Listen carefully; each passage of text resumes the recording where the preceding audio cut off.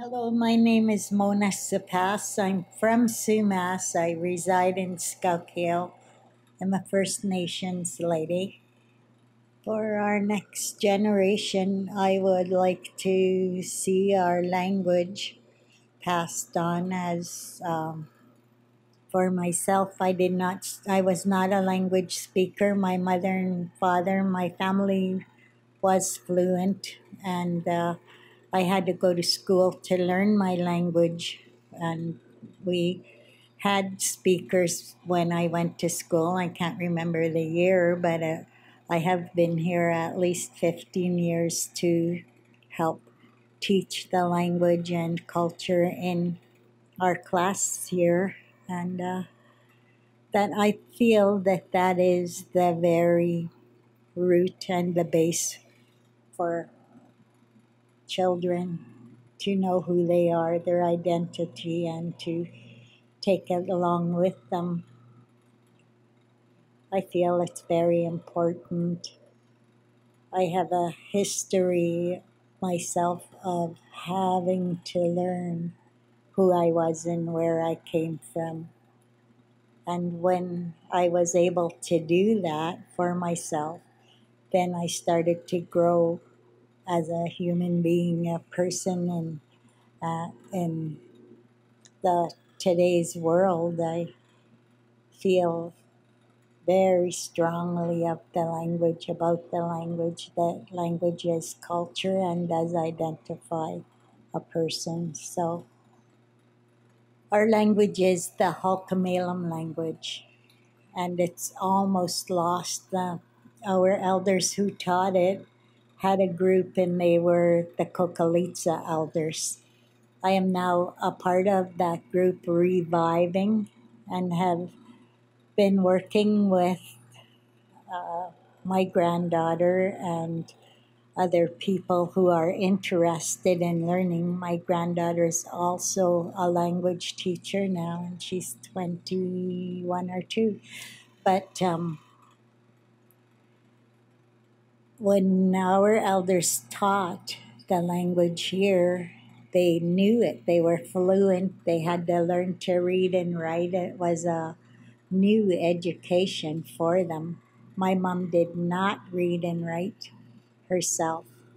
She did everything orally, and uh, it was hard for her, but I felt it was a good way to learn it orally. I, I, I can read and write it, but not to perfection. I took a year of language um, through SFU and Fraser Valley College and worked with a linguistic, and 12 of us went back to school to become language teachers, and we're still out there. Some of us are, some have passed, but I'm mm-hmm. still here and sharing what I can with the children, and I do as well at home. And everywhere I go, I'll share what I know my granddaughter and my grandsons, the children take language in school. So when they are good at it, we encourage them to continue. And my granddaughter went right on to teaching, and she's an awesome teacher, but she's in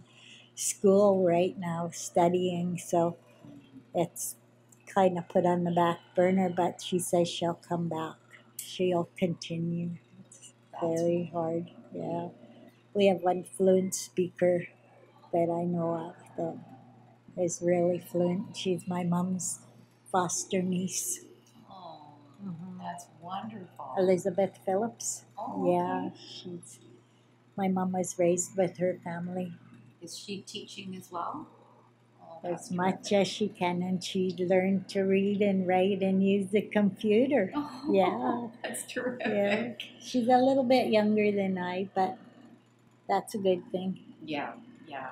Sure. We look at our elders book and we have out a on an elder's Siala class, I think it's called. I can't right off top of my head, but um, there's only her, and I can't think. There's a couple more that are still alive. Mhm. And then we look at the whole group and they've all passed on. It's an old generation. So it's up to us to pick it up and continue with it as much as we can.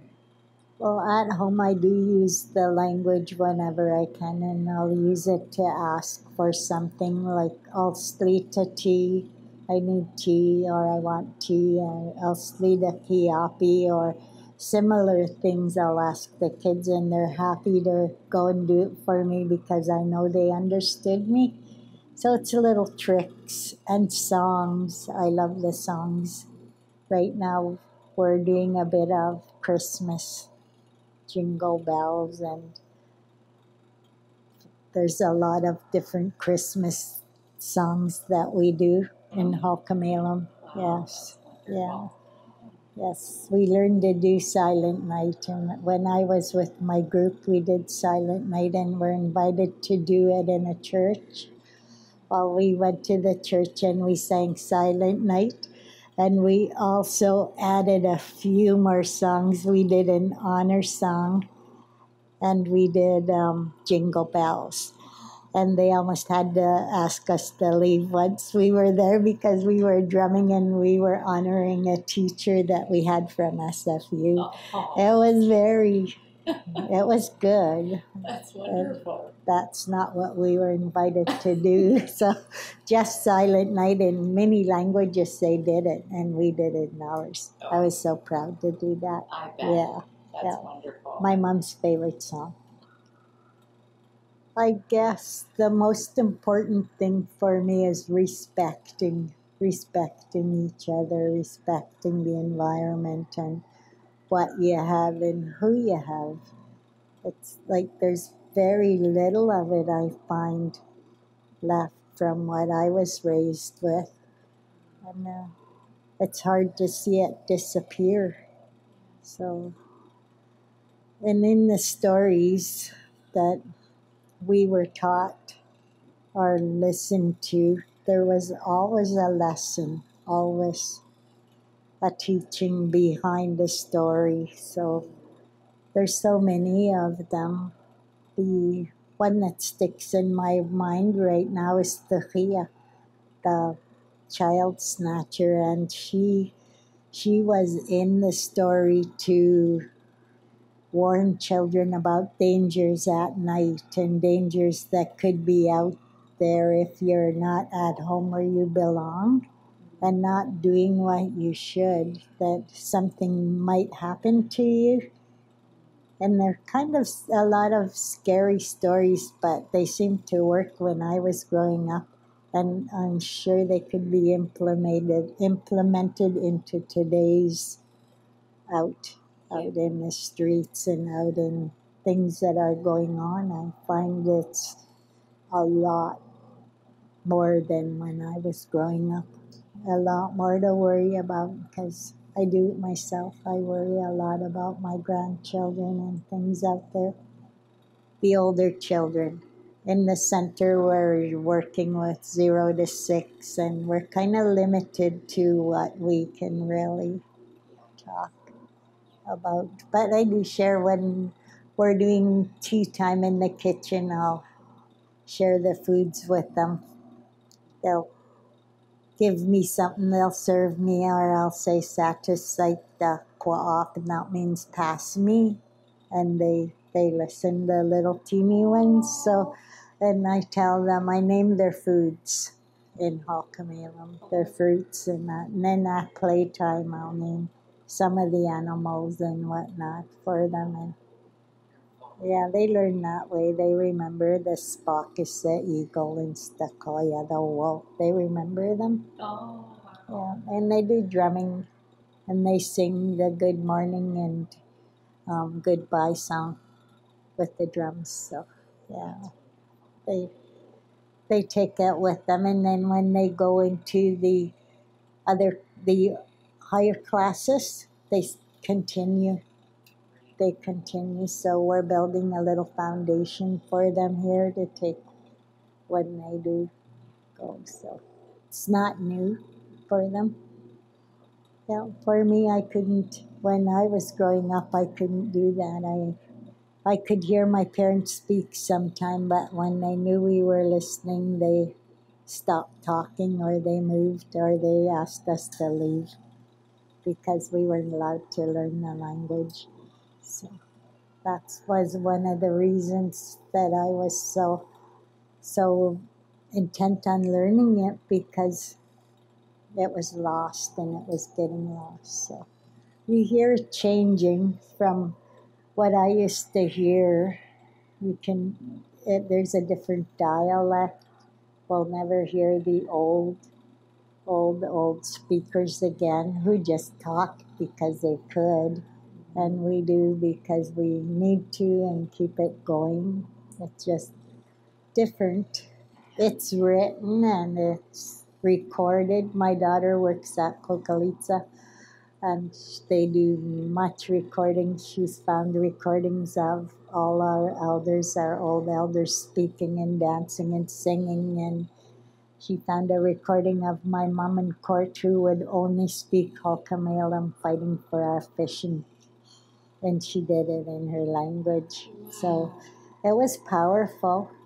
The importance of it, of the importance of your language, I probably couldn't couldn't uh, say that enough because it's culture and who you are and uh, i don't we have teachers the language has been taught in university college and it's very very important to us to have it continued i don't know how to stress that enough it's just when you have got to uh, where we were from residential school, not being able to speak it and wanting so bad to learn. I always remember wanting to learn the language but not being able to.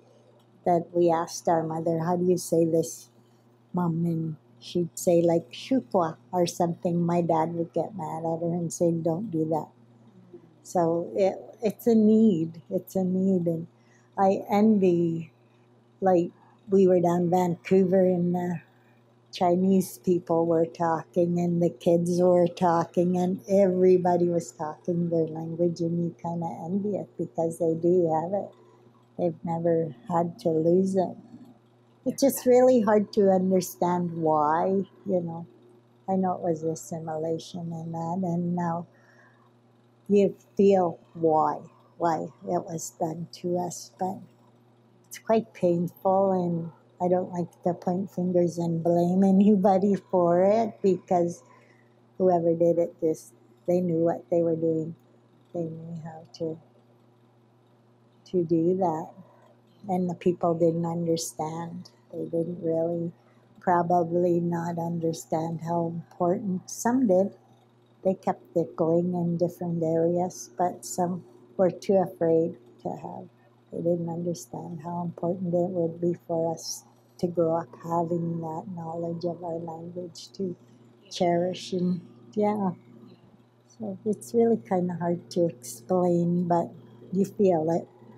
You don't realize it, and then when you say culture, people think of beads and feathers and all that stuff. And to me, that's not my culture. no, it's my environment, the river, the mountains, just the surrounding stuff that I feel when you go into it, you feel it, a sense of belonging. So it's just, I guess, unless you've lost it and you try to get it back, then, then you uh, know, I guess, yeah. Well, if it's to do with the language, I hope it will keep growing. I hope before I leave this world, I'll see a movie in our language. That's my dream, Bambi. I don't know why, Bambi. I've seen it in other languages. I've written a Christmas story and it's in Halq'eméylem. It's uh, I don't see it getting published. That wasn't the idea. I wrote it just for uh, teaching, and it's um, it's the sea, little cedar tree who wants to be a Christmas tree, and he's out in the yard looking into the window at a decorated tree. And he really wants to be a tree. His name's Seek, little cedar, mm-hmm. and he is looking in he or she and and looking at that tree. I wanna be a Christmas tree, and then he's told by a grandpa tree that that's not his job. He's a medicine tree, and he's already decorated with snow and birds in his tree. It's I can't exactly. I wrote it a long time ago, and my granddaughter's reviving it. It's in Halq'eméylem. I wrote it for school, but things like that. It's a learning to be happy with who you are and that you're important just the way you are because our cedar's used for so much. But it's a cute little story. And That's all in Halq'eméylem. To be happy with what you have and who you are is the moral of it.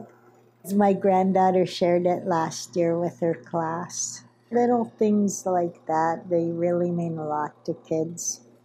It's, we're not always happy about who we are and what we have, and we have so much to be grateful for.